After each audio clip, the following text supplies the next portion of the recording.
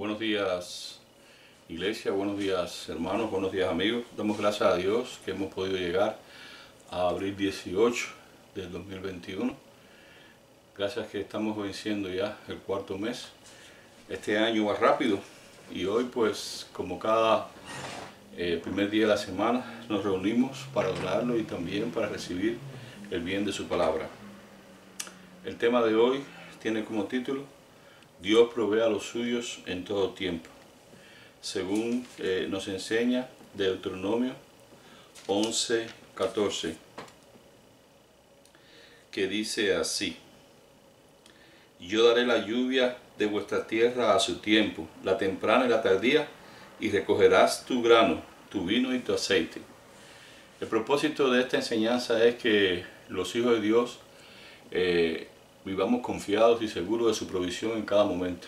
Lo único que nos corresponde cada día es eh, vivirlo en su voluntad y confiando en sus promesas. Cada promesa nos ayuda a estar más cerca de Dios y nos eleva en nuestras vidas para que nuestro espíritu siga siendo eh, de bendición y también podamos recibir su gloria y su provisión a cada momento.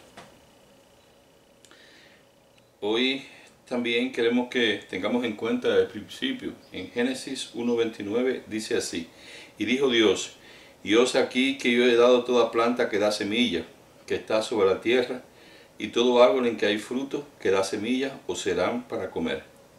Si nos damos cuenta, la palabra dice, he aquí yo os he dado.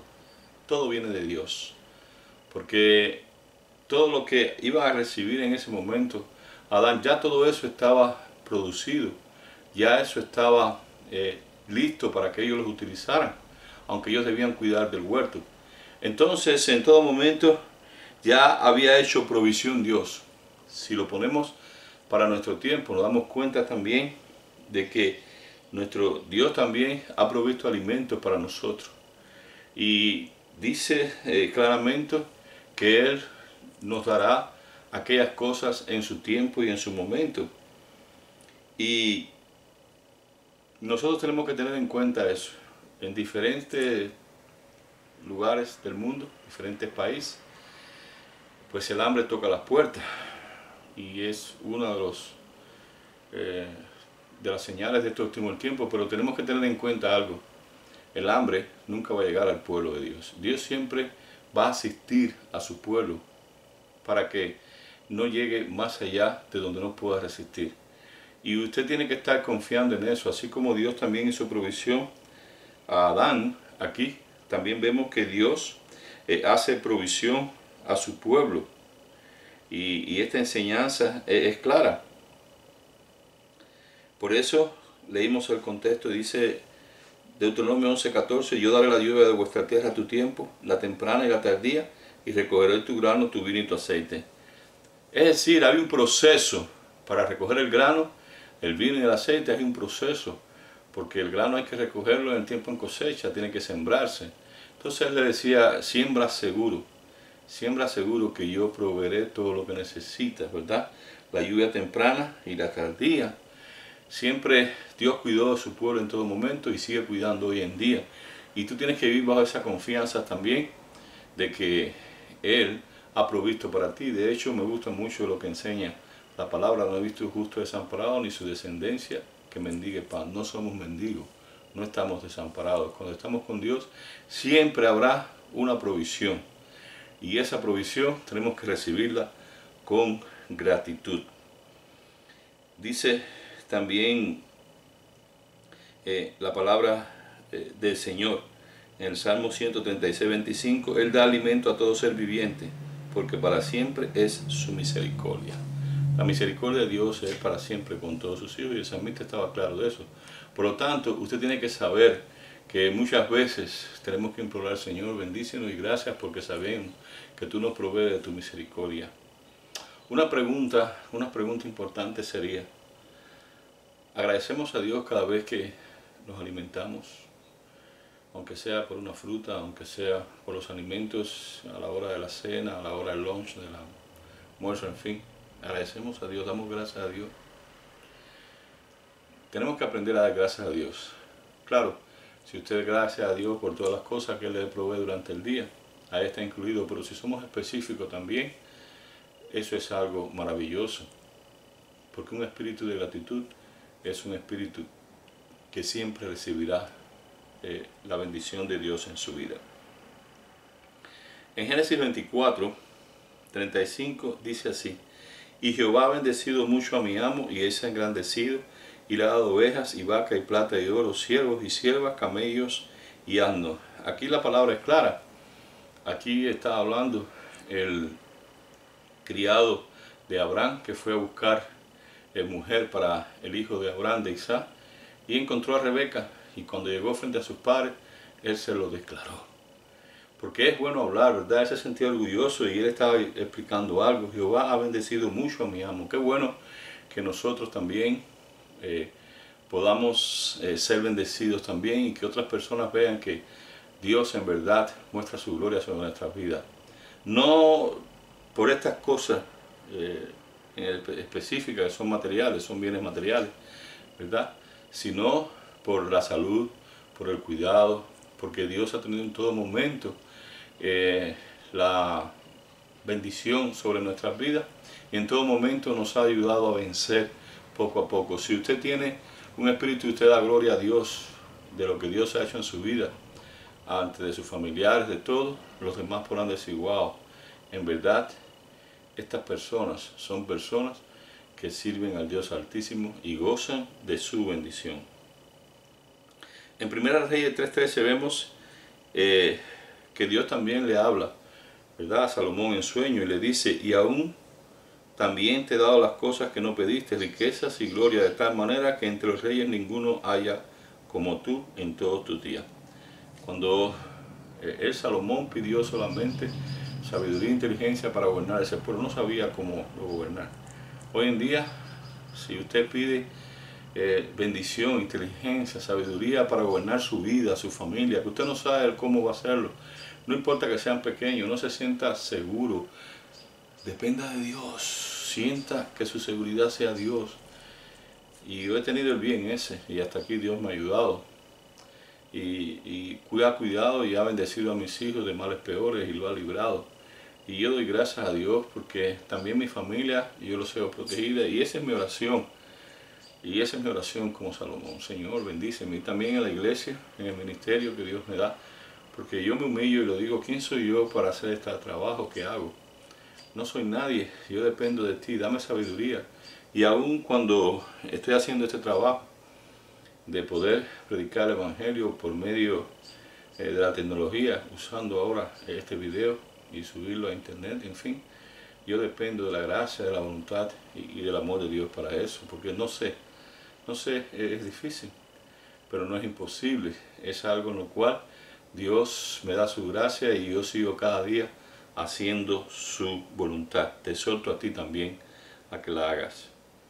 En el Salmo 66, 65, 9 declara el salmista, visita la tierra y la riega, en gran manera la enriqueces. Con el río de Dios lleno de agua preparas el grano de ellos, cuando así lo dispone. Dios dispone todas las cosas, dispone todas las estaciones. Yo tengo bien, al vivir en esta gran nación, que eh, en este lugar específicamente están las cuatro estaciones del año y yo la disfruto. Ahora mismo estamos en la estación de primavera, llueve mucho, pero casi siempre llueve y cada cosa tiene su lugar. Pero lo magnífico es como yo puedo ver que Dios eh, es maravilloso y puede proveer de la nieve, provee de la lluvia, provee eh, del viento, un fuerte viento, para el otoño, con eso se caen todas las hojas de los árboles con fuertes vientos y fuertes lluvias. En fin, todo está diseñado en su plan perfecto y en esa provisión uno se siente agradecido porque en verdad puedo ver aquí la magnificencia de la obra de Dios como el salmista y doy gracias a Dios porque me ha concedido ver esto en mi vida, a mí y a los míos. Dice el Salmo 68 19 también, bendito el Señor, cada día nos colma de beneficio, el Dios de nuestra salvación. ¡Wow! ¿Puede decir eso usted también? ¿O solamente da glorias a Dios y gracias cuando eh, todas las cosas van bien? No, en todo proceso Dios también está presente en su vida y usted tiene que conocerlo. Por lo tanto, yo quiero que tenga en cuenta esto para que la gloria de Dios eh, le pueda bendecir y le pueda asistir, ¿verdad?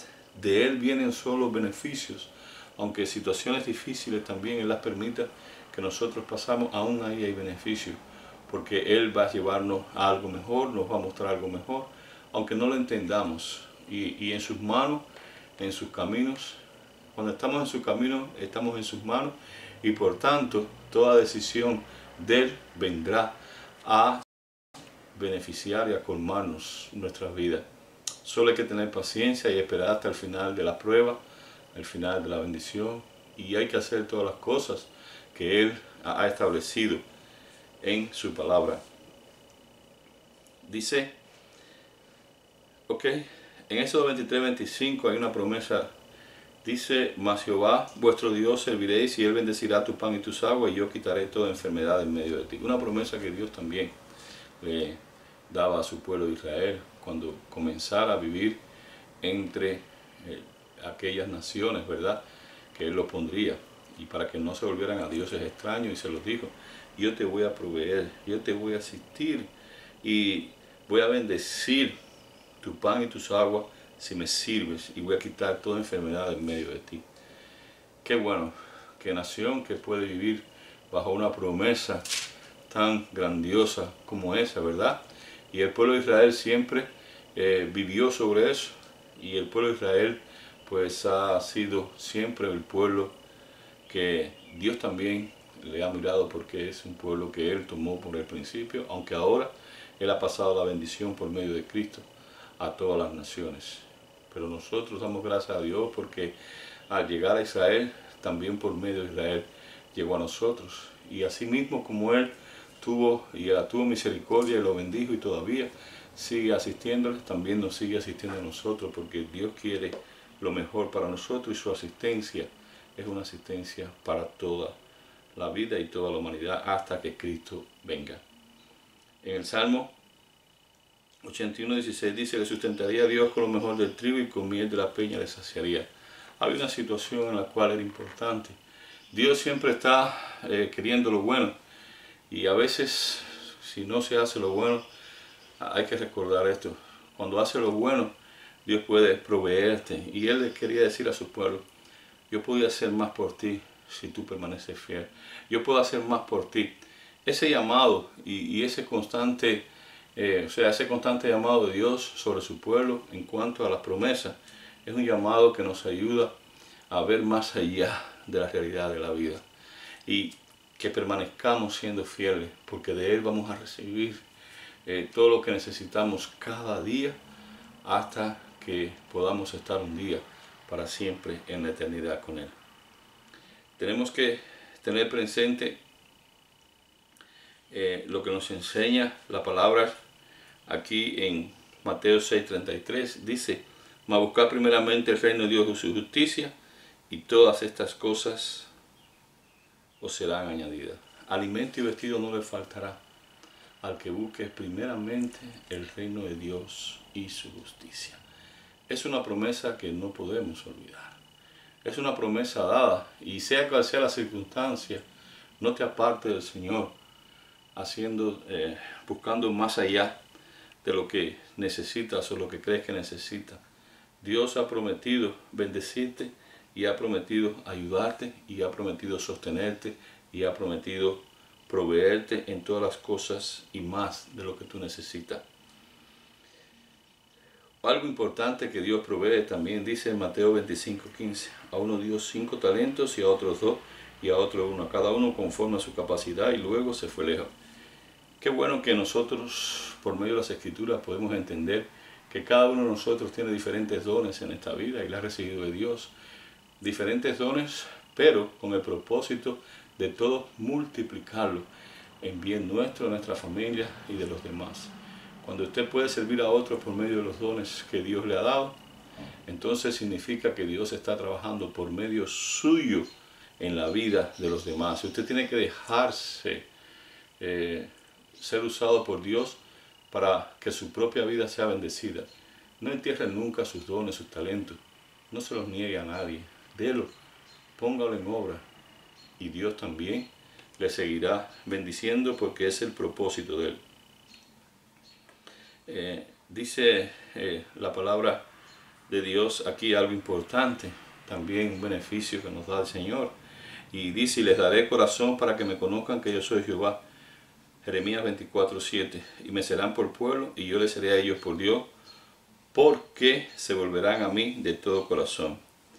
Es una provisión que Dios también hace. La posibilidad de darnos un nuevo corazón, la posibilidad de consagrarnos y convertirnos en su pueblo. Nos va a dar corazón, corazón de carne, corazón que sea capaz de eh, sentir, sentir el calor de Dios y vivir siempre eh, dentro nuestro, pero eh, sintiendo la gracia y siendo favorecido por la bondad divina. Qué bueno que usted pueda sentir contrición cuando hace el mal. Diga, ahí está orando Dios. Qué bueno que usted pueda sentir pesar y compasión por aquellos que padecen. Qué bueno. A eso llamamos un corazón, ¿verdad? Dado por Dios. Un corazón que usted dice, wow, Dios mora en mí porque eh, las cosas que siento aquí por el pesar de los demás me acercan más a Dios y puedo también orar por ellos. No siempre podrá hacer cosas, pero sí puede orar. Orar por las situaciones, por las necesidades, en fin. Dios quiere mostrar eso y Él dice, yo daré un nuevo corazón. Todas esas cosas vienen del Señor, un nuevo corazón. Todos nosotros cuando nacemos, nacemos con un corazón de carne normal, ¿verdad? Es el corazón físico, pero Dios quiere dar un corazón espiritual. Eso significa que Él quiere transformarnos desde adentro para que nuestra vida sea una vida útil, una vida bendecida. Y por último, otro repaso, otro que hace Dios también es dando descanso espiritual. Y lo encontramos en Mateo 11:28. Venid a mí todos los que estáis trabajados y cargados, y yo os haré descansar. Que Dios, que Dios en este mundo nos puede dar esta provisión. Venid a mí. Trabajados y cansados de tantas cosas. Trabajados y cansados de la vida. Fatigados por las diferentes circunstancias, rendidos, rendidos porque hay un momento en que no podemos más y nos dejamos caer sobre Dios y le suplicamos, ayúdanos. Pero tenemos esa promesa porque Él dijo, venid a mí. Qué bueno cuando llegamos en oración ante nuestro Señor Jesucristo y le confesamos, ayúdame, no puedo, Padre, bendíceme, se me es difícil. Se me es difícil cargar con este pecado Perdóname, apártalo de mí, ayúdame. Se me hace difícil cargar con esta vida que tengo y es difícil en mi familia, con mi matrimonio, pero no permita que lo rompa. Con mis hijos, ayúdame a amarlos más. Con esta familia, con los jefes en el trabajo, con los vecinos, con la sociedad, Señor. Vivimos en naciones diferentes, en naciones difíciles, pero tenemos que pedirle a Dios, Señor, tú estás viviendo en esta nación hay circunstancias difíciles, ayúdame por favor a vencer, provéeme. Estoy cansado de la fatiga, pero dame reposo en ti. Es un llamado que Él te da. A través de, esta enseñanza que, que tiene como título Dios provee para lo suyo en todo tiempo, hemos visto diferentes eh, tipos de bendiciones que el Señor nos da. Hemos visto bendiciones temporales, hemos visto también que Dios nos asiste. Hemos visto eh, que Dios también nos da el conocimiento, nos da también, eh, nos promete un corazón, nos provee un corazón nuevo, quiere darnos un descanso espiritual. Y en todo momento la gloria y la gracia de Dios está con nosotros. Es un día en el cual, por medio de este sencillo mensaje, tenemos que dar gracias a Dios. En la Biblia encontramos eh, todo bien que nos permite vivir cada día agradecido. Y al decir que Él provee, significa algo claro, nos da esperanza y nos da confianza de que nuestro mañana será mejor, nuestro futuro será mejor. No importa las circunstancias que tengamos, Él nos provee y nos proveerá para siempre, porque es el único Dios verdadero que actúa en bien de toda la humanidad. Que Dios nos bendiga a todos Que Dios nos guarde. Feliz semana en Cristo Jesús y recuerda esto siempre, nunca lo olvides. Cristo te ama y yo también en tu nombre. Dios te guarde.